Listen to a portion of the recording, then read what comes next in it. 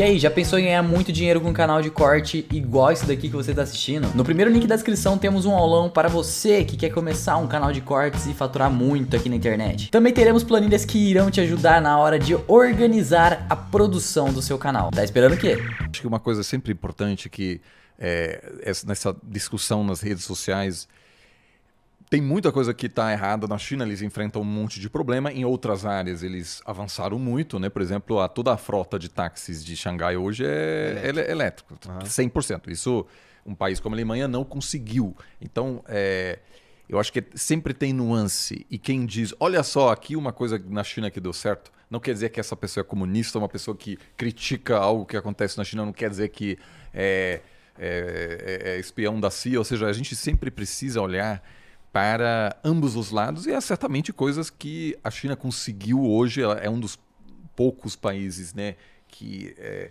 está desafiando a superioridade tecnológica de algumas nações como o Japão, os Estados Unidos, a Alemanha. E é na Alemanha hoje uma preocupação gigante. Desafiando de... ainda, tu diria?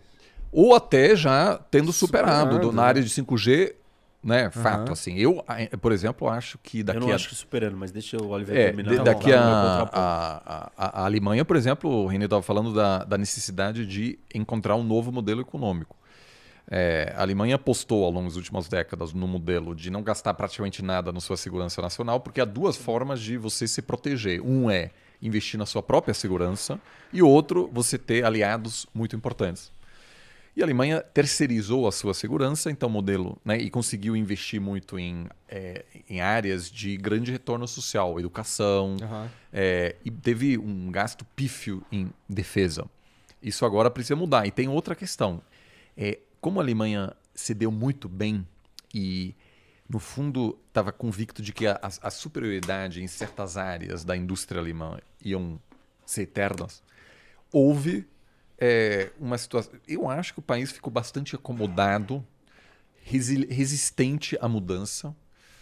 É, onde a, a, a, proposta, olha, a gente precisa iniciar essa transição energética, a gente precisa liderar não só carros convencionais, mas também é, desenvolver os melhores carros elétricos. Uhum. Os melhores carros elétricos hoje não vêm da Alemanha, porque o país ficou muito acomodado, assim, produzindo carros tradicionais que ainda vendem, né? É, é, o maior mercado da BMW, da Mercedes é a China, né? Só que é, isso agora vai mudar porque os, os, carros do futuro não virão mais da Alemanha, vêm de outros lugares porque não criou-se um ambiente propício à inovação. Uhum. A inovação que pode dar muito errada também. Então criou-se um espaço, olha, é, vamos só apostar naquilo que funciona, porque funcionou muito bem ao longo das últimas décadas. Então, eu não vejo a Alemanha conseguindo competir para valer com a China ao longo prazo. O país vai ter que passar, pode dar certo, mas enfrenta muitos problemas nesse sentido, porque é, não tem um ambiente que atrai grande. Né, você não tem nenhuma empresa de tecnologia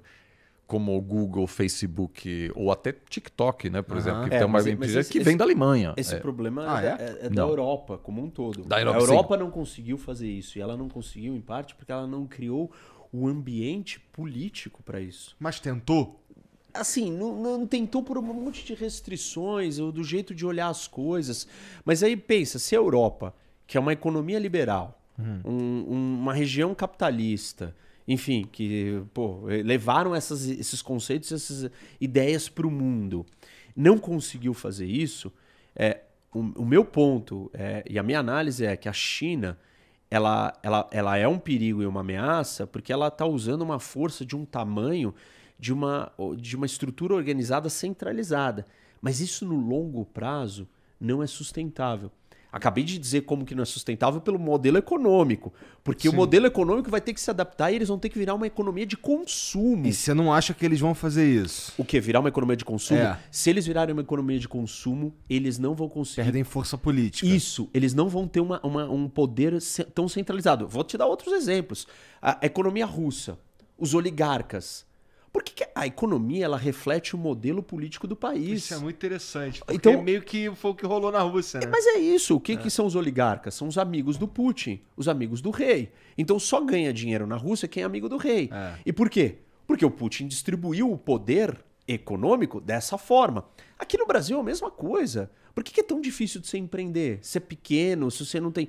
Porque, cara, existem as corporações, né? não corporações, grandes empresas, mas existem os lobbies da, da, daqueles setores que se protegem. Uhum. E, e, esses setores se protegem, eles conversam com a classe política, que se cria uma estrutura política onde a economia é replicada daquilo que está ali, dos jogos de poder. Por que, que os Estados Unidos conseguiu dar tão certo economicamente? Porque ele criou um ambiente político onde mais pessoas podiam participar da formulação das regras do jogo. No fim, que eles estavam de fato talvez preocupados com a população mesmo. Eles estavam democratizando mais é, as decisões e com isso a economia. Então, para a China, no final das contas, ser um Sim. grande líder de tecnologia, você precisa de inovação. E inovação não é um cara tipo te dando ordem e te mandando. É você ter um ambiente, Sim. como o ambiente que só surgiu por um acaso até agora, não surgiu nem na Europa, nos Estados Unidos, que é o quê? Amazon, Google, Facebook, é Apple, porque você precisa de uma sociedade, você precisa de um ambiente político, de regras, regras no sentido mais é, é, solto, cultura, até no sentido mais rígido, que são regras de leis onde o poder, o dinheiro, a oportunidade é liberada. Dá um exemplo prático. Se você quiser montar uma operadora de celular hoje no Brasil, desculpa, só, vai conseguir isso se você tiver um patrimônio de 50 bilhões de dólares, se for uma master empresa, porque o que você vai ter que contratar de licenças, de advogados, é, de, de estruturas para fazer aquilo acontecer, impede. Na prática é impossível. Impede a participação dos outros. O que, que o modelo americano fez? Ele conseguiu popularizar e permitir que pessoas numa garagem fossem lá e se juntassem e criassem um novo negócio revolucionário. Uhum. Então, assim, a China pode usar o tamanho que ela tem, a força da estrutura organizacional de vir um top-down, de cima para baixo, falar assim: façam agora chips para inteligência artificial. Mas no final das contas, esse modelo ele vai se arrebentar sozinho. Essa é a minha análise, essa é a minha previsão. É, a China não sustenta isso no modelo econômico como ela está funcionando e nem no modelo de tecnologia. Os Estados Unidos, essa semana agora que passou, tomaram uma decisão que é o controle da exportação de tecnologia para chips de inteligência artificial. Bloquearam isso e viraram e falaram assim: é proibido vender para qualquer empresa chinesa qualquer software que fabrica chips para é, inteligência artificial. É proibido vender os chips, é proibido vender as máquinas que podem produzir esse tipo de chip. E assim, a China não tem como conseguir isso. Vocês consideram a... isso legítimo? Eu, eu, só quero dizer, eu sou ligeiramente mais otimista em relação. E isso até para mim foi uma surpresa. É, é, de que a China, apesar do seu sistema político, tem a capacidade de, de ser um país inovador. E além disso, o, a aposta chinesa no sistema 5G, obviamente, foi uma aposta política, é, dizendo que se a gente quisesse tra transformar na potência hegemônica do século XXI, nós precisamos ter o mesmo controle sobre a próxima geração da internet que os Estados Unidos tiveram bem no início da controle da, econômico. Da, controle, não, não, mas também a liderança tecnológica. Tá, né? tá. Seja, eu, eu, eu, concordo com você, mas termina aí que eu, que eu, tenho um ponto sobre isso. Então, é, os Estados Unidos tiveram uma vantagem tecnológica enorme e isso, em parte, também explica porque as grandes empresas tecnológicas da primeira geração, que hoje têm um papel fundamental, vêm dos Estados Unidos. Não só isso, eu concordo, o contexto econômico facilitou essa ascensão e explica porque temos uma Amazon e mil empresas desse tipo vêm dos Estados Unidos e não da União Europeia. Isso é, eu, eu concordo. Eu só acho que hum, é, o sistema chinês é, gerou uma série de surpresas e conseguiu se manter. E, e existe até uma.